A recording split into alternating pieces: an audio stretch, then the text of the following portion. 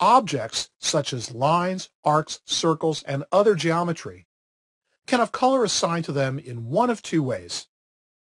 Objects can have color assigned based on the color of the layer on which they are created, or an object can simply have a color assigned to it. If I move my cursor over this particular object, you'll see that the property panel that appears that shows you the properties of the object shows that its current color is assigned by layer.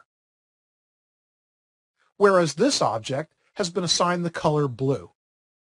Note that both objects were created on layer 0.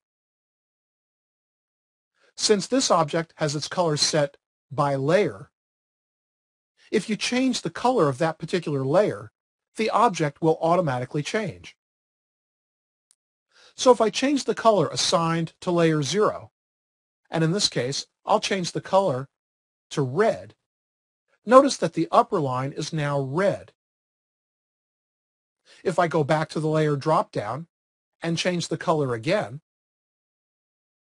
and this time let's make it green, the upper line is now green. So as you can see, any object that has its color set to by layer will automatically change to whatever color that layer happens to be, while the lower line, which was assigned the color blue, remains that color regardless of the color I choose for its layer.